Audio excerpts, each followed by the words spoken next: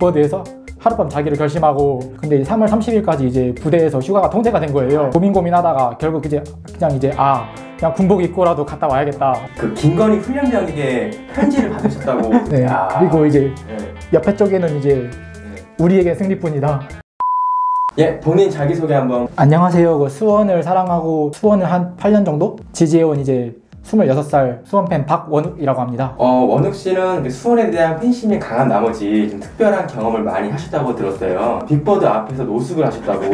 아 그게 이제 빅버드 노숙하게 된 계기가 그때 15년도 그때 이제 레트로 유니폼이 딱 1995벌 한정이 돼 있더라고요 처음에 이제 그걸 살려고 샀는데 딱 이제 가니까 줄이 너무 긴 거예요 그래서 아 이때는 힘들겠다 싶어가지고 이제 그 다음 2차 판매를 기약하고 2차 판매 때 이제 그 판매 전날에 이제 빅버드에서 하룻밤 자기를 결심하고 그렇게 해서 이제 빅버드에서 노숙하게 됐습니다 아, 거기서 보면 밤새 기다리신 동안 네. 뭐 하셨나요? 그 별이나 보면서 이제 기다리고 있었는데 보니까 앞에 이제 그 텐트 치고 이제 기다리는 사람도 있더라고요. 그 사람들하고 이제 그 수원에 관련된 얘기하면서 그리고 이제 얘기하면서 그렇게 이제 밤을 샜습니다. 군대 가서도 수원에 대한 축구 사랑이 좀 네. 대단했다고 들었는데 군대 보면은 이제 그 TV 같은 게 있는데 좀 짬이라고 해야 되나? 음, 이제 그런 게 안 됐을 때는 제대로 찾아보진 못하고 그냥 이제 인터넷 기사로만 접하다가 이제 좀 시간이 슬슬 지나면서 이제 또 축구 가 이제 보면은 보통 이제 한 주말? 주말 오후 2시에서 4시 그 사이 하더라고요. 이제 생활관 인원들도 없고 그리고 이제 좀 자는 인원들도 많다 보니까 그때 이제 그 빈 시간 내 가지고 이제 축구 보고 그렇게 했었어요. 경기를 보기 위해서 일부러 휴가도 맞춰 나갔다고 그 제일 제가 기억 남는 게 이제 제주도 원정인데요. 그 18년도 3월 31일이었어요. 그 축구를 보는 게 원래는 이제 그 전날에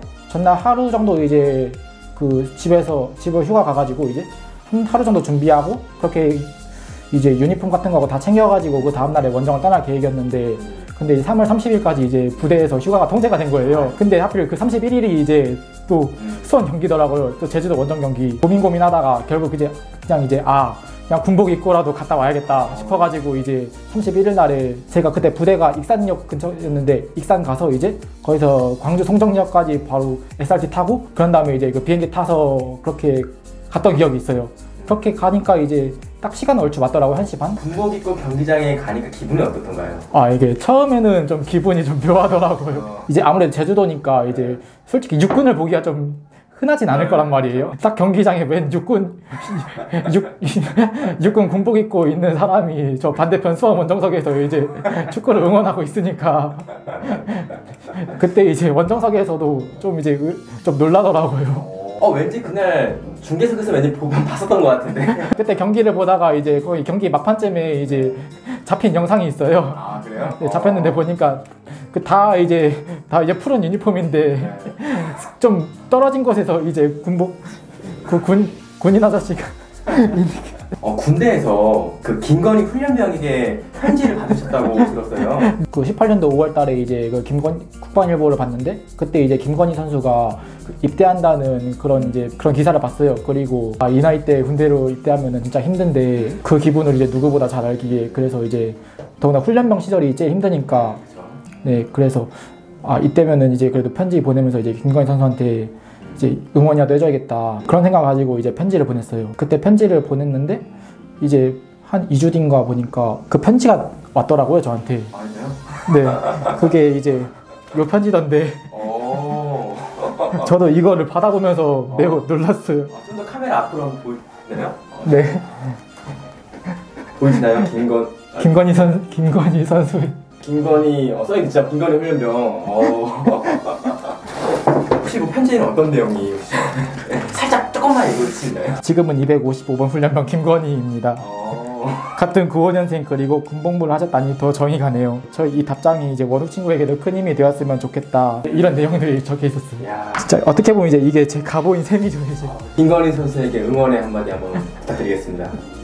아 김건희 선수 이 영상을 보고 있다면 아 너무 떨리는데 그 김건희 선수 제가 이렇게 표현을 제대로 못하더라도 예 부탁드리고 올해도 이제 빅버드에서 많이 보게 될 건데 이제 그 김건희 선수가 이제 이렇게 하신 그 각오를 가지고 수원 삼성 블루잉즈에 대해 좀 더 이제 열심히 뛰어주시고 그리고 이제 승리를 위해서 또한 발짝 한 발짝 나가면서 열심히 하는 모- 모습 보여줬으면 좋겠습니다. 전역하실 때 네. 나만의 특별한 전역모를 맞추셨다고 들었어요. 그게 이제 수원 전용문데 네. 수원 전역모요? 네, 보여주겠어요? 네 여기 그 이게 위에 부분은 이제 네. 어. 힘을 내라 수원 좀만 네. 뒤로. 네. 네, 힘을 내라 수원. 힘을 내라 수원. 네, 야. 그리고 이제 네. 옆에 쪽에는 이제 네. 우리에게 승리뿐이다. 우리에게 승리뿐이다. 네. 야, 진짜 전 세계 하나밖에 없는 모자네요. 그죠? 네, 이제 어, 어딜 가도 이제 얻을 수 없는 그런 모자죠. 어, 근데 혹시 이걸 어떻게 생각하게 된 계기가 혹시 있으실까요? 아 이제 보통 이제 전역하기 전에 모자 같은 걸 만들잖아요. 네. 그런 걸 보는데 이제 인터넷 같은 데 찾아보니까 좀 막 특별한 전형모 같은 게 있더라고요. 나도 이제 좀 특별한 전형모를 만들고 싶고 그런 걸 생각하다 보니까 이제 이 수원 전형모를 만들게 됐는데 그러면서 또 이제 느낀 게 내가 이 모자를 쓰고 이제 그 직접 빅보드로 가면은 어떻게 보면 이제 좀 수원에 대한 애정이나 팬심 그런 것도 이제 좀 더 많이 늘어날 것 같고 이제 군대 하면은 거의 이제 수원 관련된 일화가 음. 거의 다 많으니까 그래서 아무래도 이제 좀 더 이 모자 를 만들게 되지 않았나 여기 한번 모자 한번 써보시겠어요? 이야. 그러면 이렇게 그 수원을 응원하시게 된 혹시 뭐 계기가 혹시 있을까요? 아버지가 이제 그 수원을 좀 많이 좋아하고 이제 축구 많이 좋아하셔가지고 그래서 이제 아버지하고 같이 그 수원 삼성 축구를 보러 딱 갔는데 근데 이제 그땐 이석에 갔었어요. 가족들하고 같이 이석에 갔는데. 근데 이제 N석을 보니까 막 열띤 응원을 하면서 와저 사람들은 뭐지? 좀 표현하기 좀 그렇죠 축구에 미쳐있는 그거 보면서 야 내가 저 자리에 있으면은 얼마나 기분이 좋을까? 그러면서 이제 N석으로 이제 점점 많이 가고 그러면서 이제 축구에 대한 애정이 우리 수원 삼성 불륜기에 대한 애정이 좀 더 많이 늘었던 것 같아요 자, 그렇다면은 어, 본인이 생각하는 수원의 매력은? 응원이지 않을까. 응원하면 이제 또 어떻게 보면 수원 삼성이고 이제 수원 삼성이 이제 그 응원을 leading하는 그런 구단이잖아요. 그리고 이제 어떻게 보면 응원가 자체도 좋고. 네, 그리고 그거 그 부분을 제일 많이 느낀 게 다른 supporting하는 상대를 봤을 때 딱 이제 우리가 응원에서 절대 밀리지 않는다. 그런 부분에서 이제 좀 더 수원 삼성 블루윙즈에 대해서 이제 좀 더 많이 빠지게 됐고 그리고 그 부분이 가장 이제 베스트였던 게 그때 이제 수원 더비 할 때 빅버드에서 그 수원 종합운동장까지 걸어가는데 그때 이제 응원을 하면서 길거리 응원하면서 걸어가더라고요. 그때 이제 그 자리에 있었는데 와 이게 기분이 또 색다르더라고요.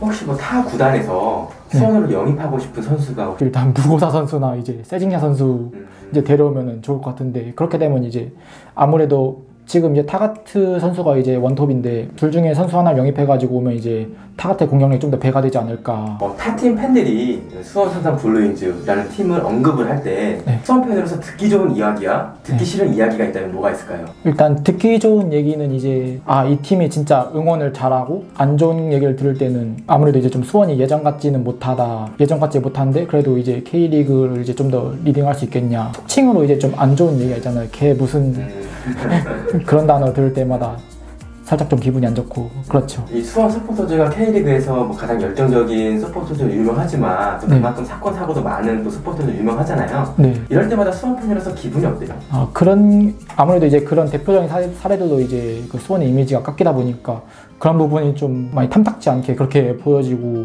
좀 기분이 많이 좋진 않더라고요. 어, 지금까지 수원을 응원해 오시면서 가장 좋아했던 선수가 아무래도 이제 조나탄 선수. 네, 왜냐하면 이제 조나탄 선수가 그 수원이 제일 어려운 시기에 그때 이제 딱 조나탄이 와가지고 어떻게 보면 이제 우리 수원을 좀 더 이제 많이 살려줬거든요. 진짜 어려운 경기에서 이제 골도 많이 넣어주고 그리고 환상적인 골도 넣어주면서 이제 수원의 이미지를 좀 더 좋게 만들어주고 그로 인해 가지고 그 조나탄의 활약으로 이제 우리 우리 수원이 좀 더 좋은 좀 더 좋은 등수도 내고 그리고 좋은 성적을 내지 않았나.